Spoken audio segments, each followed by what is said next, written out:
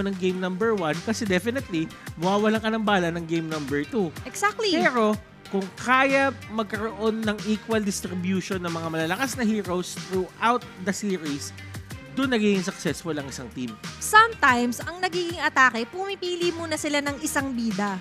Isang Mm. key hero na doon muna nila ire-revolve. Oh, play yung isang around. draft. Kumbaga, Yeah. play around. Exactly. And so far, kanina sa panel, naging guest nyo rin si Vexana na ang huli niya pang ang MPL appearance was way back season 2. Yun yung isang example na may timing kasi talaga. Mhm. Per patch and per update, very important din talaga na i-monitor natin kung sino nga ba yung gagana sa playstyle ng mga players natin here on MDL. Ah, pakitaan natin sila ng isang example. Ah, si Tigreal tsaka si Vexana madalas Ayan. gamitin sa RG ngayon na magkasama. Oo? Pero kasi those two heroes, ang lakas kasi nila on their own. Mhm. So, ibig sabihin, may mga times na pwede mo silang pagsamahin, may mga times na pwede mo silang Paghiwalayin.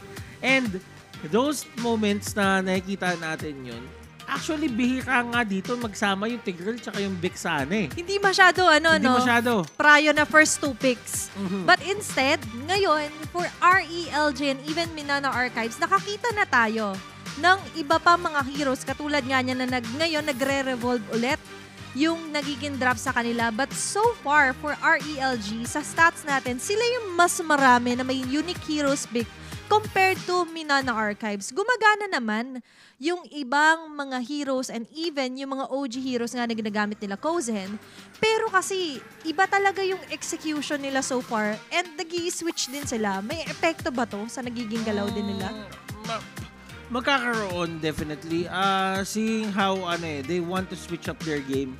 Kumbaga, sabihin na lang natin in terms of dynamics, team dynamics, nag-iiba din yung mga kakailangan, yung kakailangan ni Kosen, Ah. magkaiba yung kailangan ni Makaru. So, ibig sabihin, ang talaga natatamaan doon, yung tatlo na wala doon sa switch na yon sa swapping na yon So, ang ibig sabihin nun, eh, kailangan mag ano dito, mag seatbelt si Milty, si Nessa, tsaka si Daiso sa mga mangyayari ngayong laro. Eh ngayon, meron naman silang, hindi man seatbelt, pero may holder sila. May holder sila. Kaya yan. may Angela naman silang pinili dito, if ever. Pero for RELG, ang aga nating makikita, yung dalawa, dalawa sa pwede maging core damage dealers, that's going to be the Valentina together with the Claude agad. Mhm. Parang ano eh, ah, ito kasi yung maganda sa isang Harris pick din. Parang ano, ito yung isipin mo. Pagdating mo ng 3 minutes, makakuha ka lang nung ah, blade, yung ah, yung blade tsaka yung dalawang magic necklace. Unlimana na yan eh. Pwede mo nang pwede ka nang mang-zone out ng matindi. Yun lang yung pinakakailangan Yeah. niya. And dun sa starting money mo, pagka naka ikaw ay ah, naka naka emblems ng tama, usually yung dalawang magic necklace pasok na dun mismo sa Naka gold- sa necklace starting ka, gold no? mo. So ibig sabihin, this is going to be uh, hard for that uh, Claude if you think about it kasi nga hindi din si Claude yung type ng hero na nakikipag ano eh, nakikipag-skirmish agad-agad eh. Yun na yung Hindi. pag 1v1 agad sa Umiiwas siya. lane. Umiiwas yan. Kapag nakuha niya siguro yung stacks niya, sabihin natin, maka 5 stacks agad, di ba? Pwede, pero yung Harit wala kasing stacks to eh. Ang gusto lang Definitely. nito, hakapang ka lang.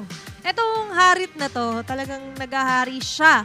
Depende sa gagalawin din nung iba niya bang mga kakampi. Pag maaga rin kasi siya nadalawan, katulad nung nangyari yesterday for Mm. TNZ4 and Echo, marami talagang nagulat. And kahit na pinagsamang isang Nolan and Harit, two dashing heroes, they forgot na meron nga palang Povius pa na open, which totally neutralizes the situation. Pero in this kind of situation, open pa if ever yung Povius, pero I highly think na itong RALG ay possible na gawin nilang XP tong Ruby if ever man. Pero with that said, yung Tigril tatanggalin so malilimit, marerestrict yung roam pa na pwedeng piliin dito if ever for RELG. Oo.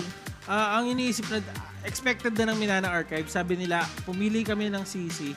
So, katulad ng sinabi mo, hindi malabong mag-XP Ruby na. Kasi alam natin, in terms of the matchups, as long as nakakalapit si Ruby at napipigilan niya yung mga combinations na ginagawa dito ni CC, it's a great uh, answer to the mobility. It's a great answer to the damage. Kasi kahit papano, kahit tuloy-tuloy kanyang niyoyoyo, meron ka kasing pang-sustain mo sa early mo dun sa skills mo. Yes. As long as malapit ka dun sa CC, pati yung minions. Mas, mas nag-enjoy siya, di ba? Oo. Yung isang Ruby. Pero for Minana Archives naman, yung next attack nila dito might be a hero pa rin for the room. So, talagang decided sila dito. Decided sila Coach Zing Mew na itong RELG talaga malamang ilalabas sila for the last phase as a hero na nga lang din for Soren Tupac. Pero so far, si Soren Tupac nga yung mas naalala ko na gumamit ng isang Angela na sobrang naging effective although hindi pa sila nagkakaroon ng series win. Actually, nakakatakot pala, no? Isipin mo yung dalawang kasama ng Angela ngayon. May CC ka tapos meron kang ah, Har- Harris. So, early stages, kapag ka yung Harris nag-init agad, pwede sumapi agad din si Angela. Ang bilis. And at the same time, kung malugi man dito si ano, Harris, pwede lumipat kay CC para makuha yung atensyon ng mga tao. TP muna. Papasok na Oo, naman dyan yung TP K2V. muna, oo. Diba? And for Minana kasi, parang iba rin yung nabibigay honestly ni Milk Tea. Isa na rin sa, matagal na rin pagdating sa scene ng MDL. Way back season 1, na naging parte siya ng Zol Esports, na ngayon naging parte naman siya ng Minana, is marami din naman siya mga namana na knowledge na pwede niya mapasa, maging gabay sa kanya mga teammates. Kaya, na, ano eh, tumawag na sa kanya. Pero, with that said, ah, Grok right now for Minana. So, pause for Angela. Mm, ah, it's definitely a good answer kung ako yung tatanungin dito against sa Claude kasi nga wala silang pampigil na Claude dito kapag ka nagbe-blazing duet na. It has the stun na kinakailangan para ma-take down ng Claude. It has the capability to zone out people doon sa mga members ng side ng RELG. Pero ngayon, ito naman yung mahirap dyan. Kahit na sabihin natin may Angela ka, kumuha ng damage output dito na hindi basta-basta mapipigilan ng Angela in the early stages as long as libre itong magagalaw. Oh, kakabanggit mo lang ng Hayabusa. Pero ngayon, papakita na agad yan. First phase pa lang ng series natin, Butters. Hayabusa for Nija. So far, 50% win rate for this one. Pero still, 50-50. He would take that chance. He would take that chance indeed. At ah, alam mo, ito ah, Athena, maganda yung Hayabusa kung tutuusin. Kung talagang comfort hero niya ni Ninja, bigay mo sa kanya yan. Yes? Pero kasi, para sa akin, in the early stages, kung hindi nyo mapipwersa lagi yung Angela na gumamit ng ultimate niya, ikaw yung maghahabol dyan. Kahit sabihin mo maugi shadow kill mo yung mga members dito, eh pwede Wait. kang takasan. Wait. Pero speaking of nakakagulat na pasabog, may Freya na tayong lumabas dito. Gusto ko lang linawin, Butters. Pag nag-RG, eto, isa to sa autoban namin. Talagang iniiwan ko yung isang spot sa Freya lang alone. Alam mo, eto lang yan natin eh. Kung tinignan mo, yung line-up dito ng side ng ng ah, RELG. R- RELG, yung stun nila, nakarelay lang kay Ruby. So, ibig sabihin dito, since may Valentina, may workaround naman. Yes? Pwede mo agawin yung wild charge. Kaso, Kaso, ang problema, masyado ng commit yun para lang i-take down ang isang Freya. Freya. Guys, sa lahat na nanonood dyan sa ating stream, press 1 kung tingin nyo gagana itong Freya. Press 2 kung tingin nyo ay hindi. Pasok na tayo sa loob ng Land of Dawn. pero kung tinatamad naman kayo mag-type, press haha. Ikay maghaha kung ikay masaya ngayong Oo, araw. maghaha ka. Kung ikaw ay masaya maghaha ka dahil ito ang unang pagtatapat ng RELG at Minana Okay. Archive. Sino kaya ngayon ang magugulo? Kakatanong ko lang, eto na agad. Nagkakagulo na. Mm, so, yan yung ah, lakas ng isang Angela at ng isang ah, Grok into the early game. Kumbaga, isipin mo to, si Grok ang taas ng damage niya. Si Daizo, kaya, si Daizo, kaya niya i-heal yung Grok and at the same time, mas low yung mga kalaban niya. Yeah. So, ibig sabihin, ang daming kakainin dito ng mga members ng side ng RELG into the early stages. Pero nakikita mo naman si Ninja, ginagamit niya yung kanyang passive para makuha yung mga maximum damage. Pinapababa niya na yung buhay. Ito naman yung isa sa pwede talagang i-maximize ni Neza. Yung Grak, bukod kasi sa pwede nga siyang pang-cancel, pang-contra later on sa Claude, yung kanyang wall talaga yung Guardian's Barrier. Ito, sa mga TP, sobrang useful. Mhm. Diba? And uh, kung tutuusin dito ha, si Neza, hindi niya talaga tinatantanan dito yung uh, mga members ng side ng RELG. Talagang lapit lang siya ng lapit, matapang siya kung matapang. Pero hindi nila in-expect to. Ang Pumasok aga. agad si Nija at gusto niya agad kunin yung kill. Will that be two kills? No, it won't. Masyado mataas ang buhay ng isang Grak. Pero tignan mo naman kung anong ginawa nila Kuzen dito. Iba yung naging trade-off dito ng Minana Archives. Tinanggap na nila na sa una talaga isa sa mainit sa mata dito si Daizo and he will die. But also for RELG naman, medyo napuput at rest si Robin. Si Robin, kailangan niya kasi mag-farm muna ng gold para ibigay sa kanya mga teammates. Don't joke lang, hindi siya si Robin Hood. Although, for Minana Archives naman, hindi nila iindahin yan. But instead, magpo-focus sila onto trying to secure a turtle nga ba? At uh, makukuha yan. Sa side ng RELG, hindi sila mapipilit doon na gumawa ng kahit anong reaction. Pero alam din kasi ng mga members ng side ng Minana Archives na hindi yan yung goal nila eh. Hindi talaga. Hindi Eh, yan yung goal nila. Daizo ang naging primary target. Siya talaga ang lalapitan. Kumbaga, pigilan nyo lang siya makuha yung fleeting time niya. Huwag yung bigyan ng oras kumuha ng ibang item pa, yung mga flash giveaways. Huwag nyo Wag ibibigay. na. Alam namin naka-bargain hunter siya. Oo. Pero, at this point, mas okay na bigyan na natin ng literal na pang-delay when it comes to pick-offs. Itong si Daizo. And so far, nagtatagumpay dyan ng RELG with 2-0 on the kill score. And even Soren 2 pa, no? Hindi pa natin masyado nararamdaman na may pumipigil sa kanya. And speaking of which, ito yung pipigil na nga ba kay Eris na malakas din naman yung kotob. And ngayon, Butters, mapapansin natin, for Minana Archive, still, they're going for the same strat. Stay muna sa mid pa rin si Daiso. Kaka-level 4 niya pa lang. So, in this kind of situation, pwede na siya if ever sumanib pagka merong naipit. Alam mo, ah, ang sa mga nakikita ko talaga dito kung bakit din kinuha yung Freya in the first place is because pa-late game man din ang laban dito ng side ng RELG and Neza utilizing the wild charge and the flicker will get away and uh, at least hindi na siya magbibigay pa ng extra death or extra kill doon sa may kalaban niya para makapag-snowball dito sila Nija. Si Nija, nakikita natin siya na talagang laban-laban siya eh. Hindi siya nagpa-farm lang. At dahil doon sa alalay, nakikita natin dito na sinasayawan niya na lahat ng mga membro ng side ng RELG. Pumasok si Kozen. Napalo yung ninja. Kumbaga, ito, warrior versus ninja. Ito na, yung inaantay ng Minana Archives, hindi na sila ngayon yung mapipilit na mag-ulti agad. Instead, mas inantay nila na mauna magkaroon ng atake sa kanila si Robin and even Nija. To the point nga na akala nila mamamatay si Makaru. Pero thankfully, there's Daizo with a heart guard.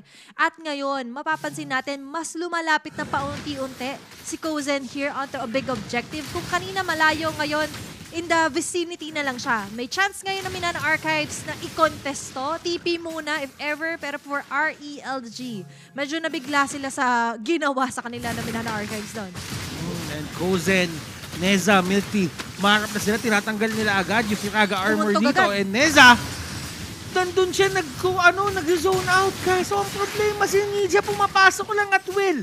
Yan talaga ang way of the ninja. At kung tutuusin, si Milk Tea nasa gitna. Kunat talaga ng isang sisi, lalo na pag naka-vengeance at may unting Oo. alalay. Galing kay, ano, kay uh, Angela. Solo! And Kozen dito, sinubukan targetin, pero ito yung tinatawag natin pang force out na kayang gawin ni Ninja. And sa totoo lang ha, ang bilis ng farm niya dito at naka, ano pala siya, nakalitan ignition. And imagine, sobrang useful nun to the point nga na if ever na makaabot doon, yung ibang mga members sa Minana Archives, okay lang kasi nakapatay na nga sila, wala pa rin yung heart guard kasi na-force agad ni Ninja yan. Hindi na siya ninja moves, ninja moves na. Yung ginagawa ngayon ng. And Looking at the item build, nakapag-rush, Flash of the Oasis na nga dito. Si Daizo, isa sa ina-expect talaga natin na Prayo. And speaking of which naman, Necklace of Durance naman for Ares. Mm, alam mo, Ang answer.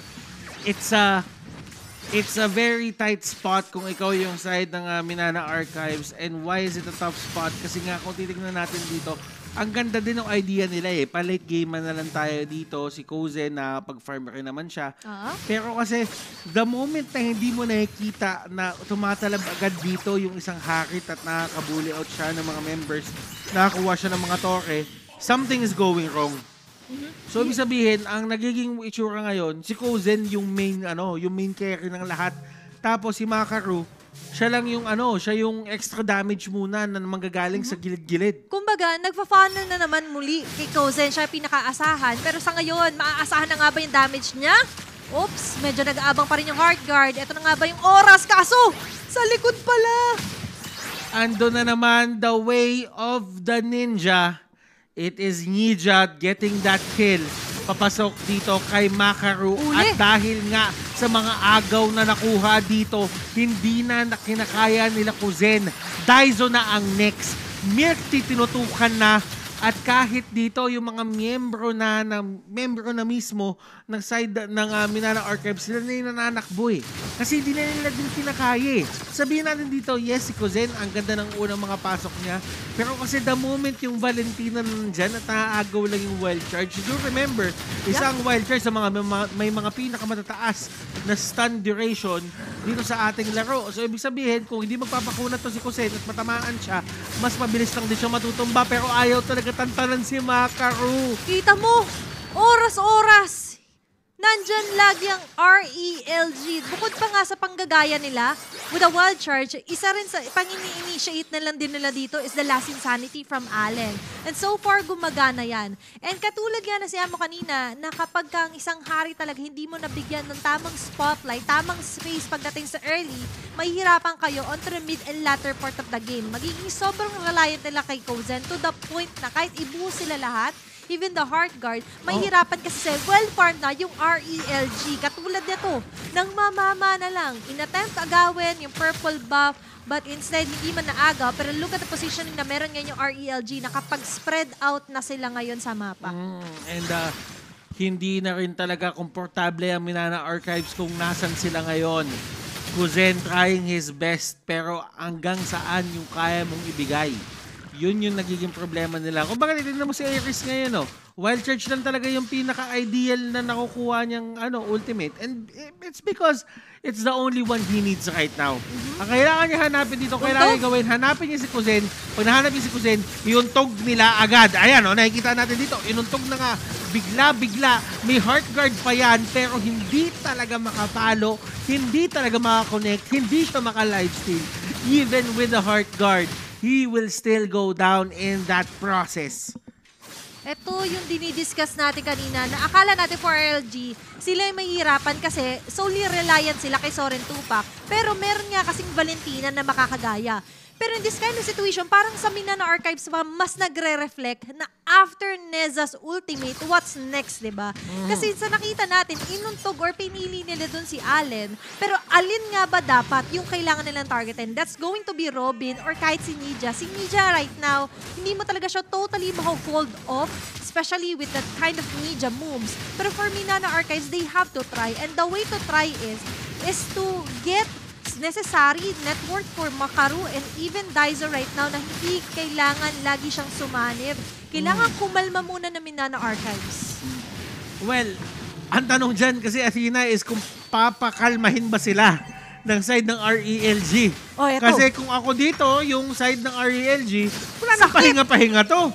Kailangan, pukpukin mo na ng pukpukin. Oo, para sa pangarap ay suntok ng suntok. Kita mo, yung bawat suntok ni Nija. Oo. pasok. Nandun yung heart guard, hindi pa fully na nakakasampa. Kasi hindi ka kasi pwede dito yung mukmuk ng mukmuk. Oo. Hindi ka pwedeng ganun eh. Nung mga alaala na wala pa, pero ayaw nang alalahanin ng Oo, RELG yun. tanda-tanda ko yun eh. And right now, will they make it? Kasi nandito na yung Lord. Unang Lord pa lang sa laban na ito. Pero totally maximize na to ng RELG. And they're trying to reach the top. At ngayon mahihirapan, nasa defensive side, defensive mode ang ah, Minana Archives. And Butters ngayon, sila ay medyo nalulugmok. Pero ano pa nga bang pangpupok nila pabalik dito sa E RELG? Let us see, dahil si Kuzen dito, may way na siya ngayon para hindi siya yung unang pumasok sa laban at hindi siya ma-initiatean. Yun na yung kailangan nilang gawin dito. Nezat, needs to find that right spot na mabibigyan si Kuzen ng oras na pumalo. Yun yung kulang talaga sa Ayaw kanya. to! Pero eto na naman, three man, tapos may last insanity. Naubos na luto, nauntog, binalagbag ang mga member ng side na Minana Archives. At yung ninja doon sa likod, Ogie Shadow Kill. Hindi nakinaya yung moment na iyon. And RELG secures